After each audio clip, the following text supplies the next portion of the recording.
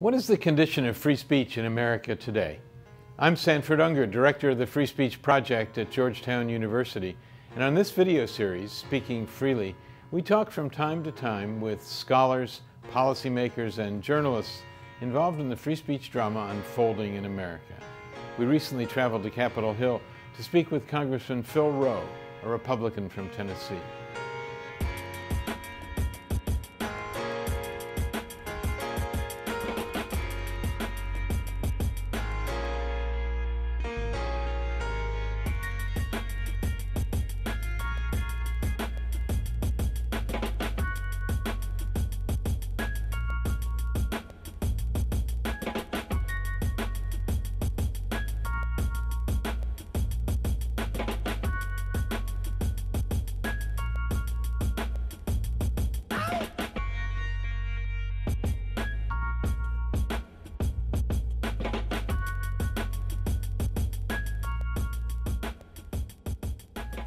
Congressman Roe, uh, welcome to Speaking Freely for the Free Speech Project at Georgetown University. Uh, I'm very interested in the bill that you have proposed uh, to uh, do away with free speech zones on college campuses and uh, to promote, in, in, in your terms, to promote free speech on campuses. Could you could you tell me a little more about that? well, it's a sense of Congress that that we so would. It's a sense of Congress resolution. That's correct, sense of Congress resolution. And what really, um, and, and you and I talked off camera before, we were about the same vintage. So you remember the 60s. I do. Uh, most of your students, that will be ancient, ancient history. But we that, won't get into that. We'll get into that. But that, that's when I graduated from high school and started college. And I grew up in a military town, Clarksville, Tennessee, where the 101st mm-hmm. Airborne Division is. So many of my friends' fathers were in the military at that time. We were very, very patriotic. And obviously, this incredible controversy of the Vietnam War uh, was unfolding at that time. Um, I'm a, a, scout, I'm an Eagle Scout, and uh, my scoutmaster was a first sergeant in the 101st Airborne mm -hmm. Division, so we had a very rigid scout troop. Uh, he was a father of four, and unfortunately, he was killed in 1965 in, the, in Vietnam. Sergeant Thomas E. Thayer, I, I remember him like yesterday. So I saw all of this um, of this controversy going on and this debate going on in on the college campus. And I really wasn't as, as, involved in it because I was a um, biology, chemistry uh, major, and with a little math thrown in in addition. So I was spending a lot of time uh, in the classroom trying to get myself in right. medical school. But all this was going on. It, it, it, wasn't ignored. And I saw this is where a, an incredible debate occurred about a very controversial war. And young people were very much involved in that. Not, not so much older people our age at that time, but very young people because they're the ones. Me eventually was drafted in the military. I eventually did go in in 1973, uh, the, one of the last drafted members of the military. So I, I've seen that and I saw the impact it had on the country. And then when I saw many, many decades later, as I had a medical practice for many years and then was elected to Congress, came here and saw how this I felt like was being suppressed. And I felt like I put a uniform on and left the country to protect that right to uh, free speech. And whether, whether it was speech I agreed with or not, much of the speech that went on the campus I was on, I didn't agree with, but right. people had a right to say it. But um, at the time, there were plenty of people who complained about those demonstrations. They did. Who said they were unpatriotic, that they were uh, weakening our war effort, that they I might have even been one of them. one of the people who said that. He said that. I, I, may very well have been. I was very, you know, it disrespecting our flag and those sort of things were just went against everything I'd been taught as a young man. I've had family in essentially every war that sure. this country has ever ever been involved in. So um, I might have disagreed, but I didn't disagree with their right. But you didn't disagree even then no. with, with, the right of people to protest against. Nor did I try to obstruct their right to do that. Right. Uh, thought it was a good thing. And so, how do you compare the circumstances of today with the 60s, with what you remember well, from the 60s? I guess I'm sort of confused by it more than anything. I certainly agree that that uh, open free speech between. In other words, you I have no earthly idea what your political viewpoints are, but I wouldn't shout them down. I would listen to them thoughtfully. Well, And- actually, interestingly, there's no need for us to know each other's political No. point of view. Yours is rather well declared because you're a member of Congress. Congress, that's true. But there's, in order to have a conversation about the issues of the No, day, absolutely. we don't need to know each other's. It- It's really irrelevant what they are. And I think, and I always taught my children, I said, look, I don't care what your, what your beliefs are. You're going to work those out as you get to be grown men and women, uh, two boys and a girl. But I said, I want you to be able to defend those intellectually with facts, not just screaming and yelling and, and, uh, and disrupting things. And I, I've, I've uh, noticed we've had town halls after President Trump was elected. I've had uh, live town halls. And they were very different than In any your district? in my district, and they are very different than any town halls that I'd ever done before. Where you get uh, even during the healthcare debate in 2009 and 10, this was completely different. I had them because I thought it was important that as a representative I go back home and and uh, and face my constituents and see what they had to say. But it was very hard to get a word out. And, Really? uh, yeah, it was. They in some they were ca- disrupted. In some cases, we we um, I live in a very conservative area. This is northeastern Tennessee. Northeastern Tennessee. So it's a very. I mean, Donald Trump got 76 percent of the vote in my district, so it's a very conservative area. But I, I thought it was important for me to do that for people to exercise their right to have free speech. So we did those uh, town halls, but they were different. Now, how did they differ from Vietnam War era protests? I, I don't know that I ever saw a congressman have a town hall during that. do, do, do you ever remember one? I don't remember them. I don't either. That became something later. Um, I, I, I'm trying to remember back through my representatives that, that I knew who they were, but I don't ever remember them engaging us. Right, Um, right. Sometimes at the, the college would bring in speakers. Um, Of course. It would have, but it would have been. I think you would have been tossed. In the little college I went to, Austin Peay in Clarksville, Tennessee, which was a very small school at the time, about 1,400 students. And and once a month we gathered in the, the gym. The whole entire student body did, and somebody would it would be maybe it'd be a general or a, a senator or a representative, so we could. Uh, hear these people, but, but we were expected to sit and listen, not Yes. to uh, And- to yell not to disrespectfully. No, no, no. I think that wouldn't have worked out well or- for us. Or turn your backs. That would not No, have worked that wouldn't out worked out well. No, I know Dean Savage would not. That would not have worked out well Right, for me. Right. You might have been a former student. I might have been a former student. Well, uh, it's very interesting to try to translate these principles and that, that uh, as you describe it, ended up working pretty well in the 60s, whatever position people took. They, they did, by and large, manage to express themselves and to try to translate those principles to today. Uh, what, do- what do you think is happening today that, that you object to? Well, I think when you when colleges, which you, you uh, are a professor at one of the great universities of this country, no question about it, Georgetown University, one of the great universities in the United States. And I have no idea what the, the policy is at, at Georgetown, but there are many schools out there that are trying to limit where someone can have, even to hand out. And I carry one of these with me. And I didn't. This is not a stage. I, your ca- I? I stick it in my pocket Right. every day when I walk around. So if you want to have a Constitution, I've always got one with me. And I, I didn't really do that through my 30 something years of medical practice. I was just busy taking care of patients. But as I got here, I realized how important that document is for our liberty and our freedom.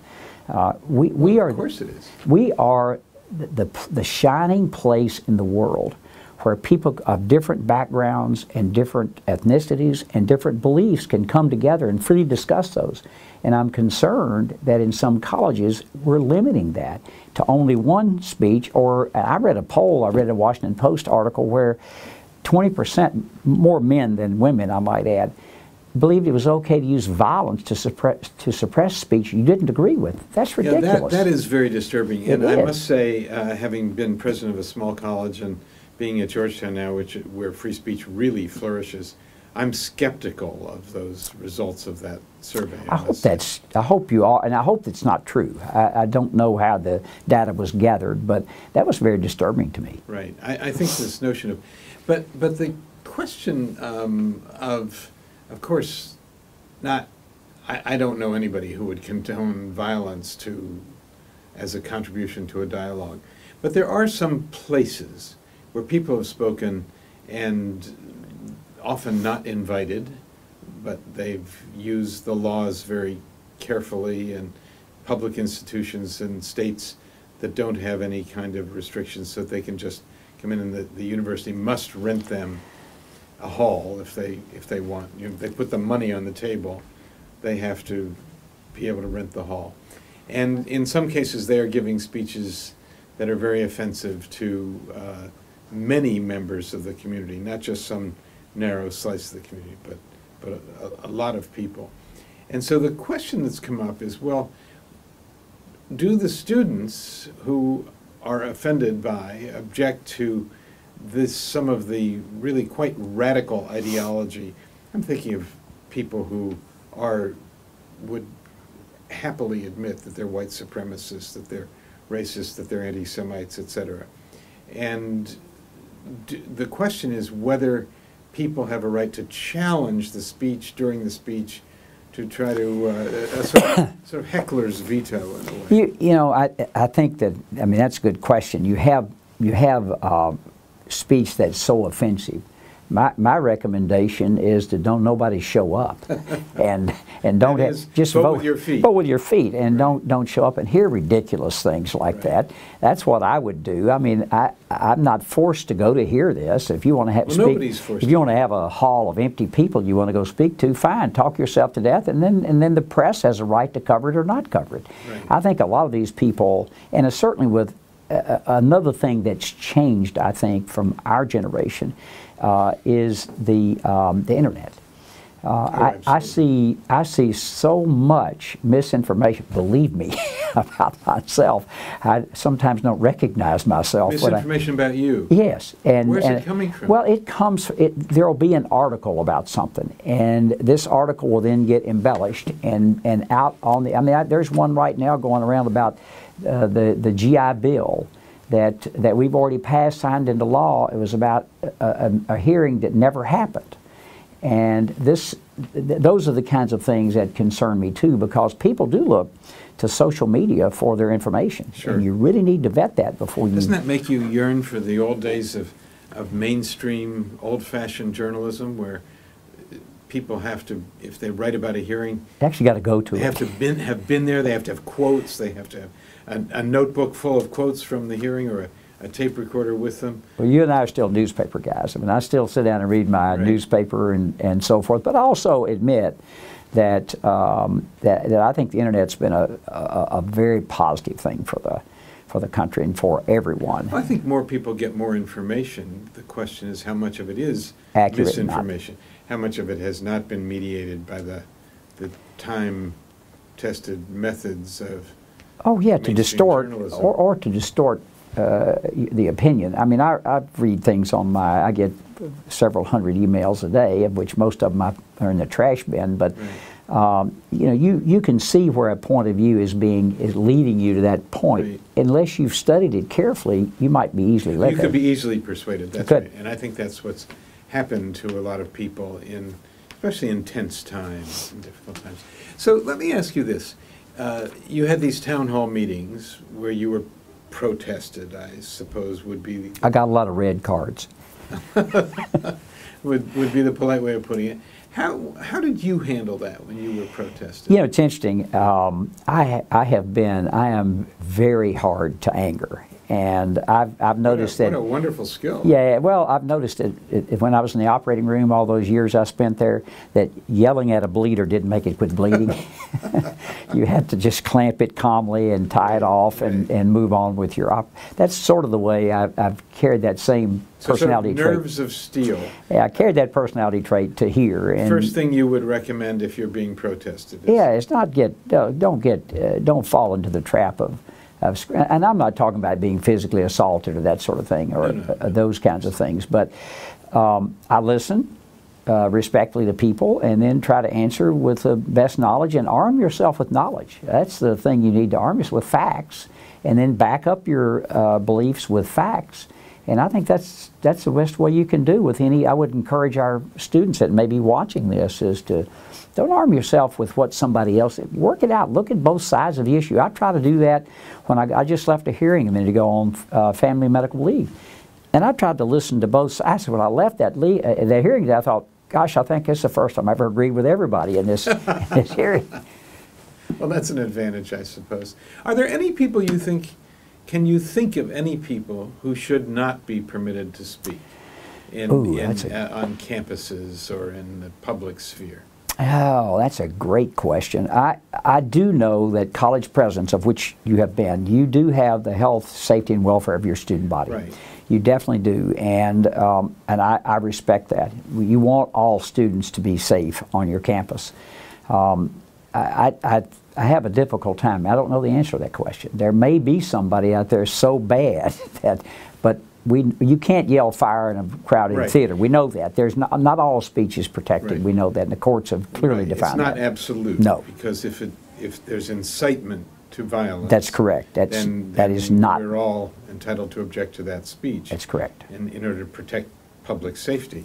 I can tell you that, that uh, college presidents, especially of small, the college I was president of was about the size of the one you attended. Yeah. And presidents of small colleges do a lot of sitting around and saying, what if? You know, what, what is the nightmare scenario? Where, who is the person that I would have to worry about? Who could light this place up? Or, yeah. or, you know, that I would have to make this very tough decision of not, not allowing that person to speak. And uh, there was a, there's a very interesting case uh, from about 10 years ago, Columbia University in New York. The president was faced with the then president of Iran, who was not a very popular person in this country, Mahmoud Ahmadinejad, Yep. and he, he couldn't disinvite him from speaking. Someone had invited him to speak. And so he spent the introduction denouncing him.